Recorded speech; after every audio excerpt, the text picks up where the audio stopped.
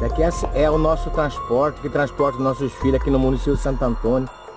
Esse é para vocês verem o, o, nosso político olhar com mais carinho, os nossos governantes. Isso daqui é o único que transporta nossos filhos. Isso aqui é uma vergonha para o nosso país. Caindo roda, tá aos pedaços. E ninguém toma uma providência sequer. Esse é o transporte que está na beira da estrada. Não deu nem para trazer nossos filhos para ir para o colégio. Cadê alguém que é responsável por essa empresa, esse ônibus aqui? Será que não há um governante? Cadê o nosso prefeito, nosso município? Os políticos, cadê nossos vereadores? Só vem no município, só vem visitar aqui a comunidade do Olho d'Água quando vem ver, vem ver pegar os, seus, os nossos votos? Que é uma vergonha, rapaz. Vocês têm que sair dos seus gabinetes, ver com mais carinho a nossa comunidade que vota em vocês né?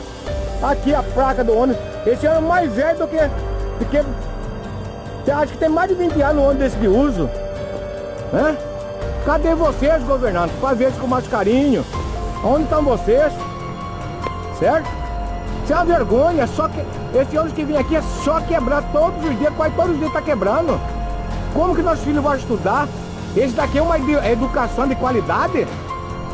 Certo? Daqui não é educação de qualidade, não. Cadê o ônibus?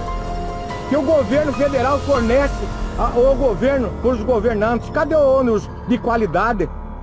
Como que o nosso filho vai estudar? Educação de qualidade está muito longe do nosso país. Educação é prioridade para o governo que não sabe. Educação é base. Né? É a base de tudo.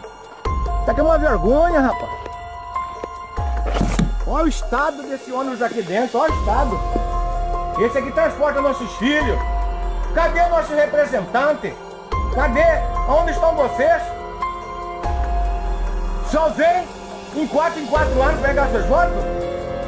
Tem que olhar mais, meu amigo. Estão vocês?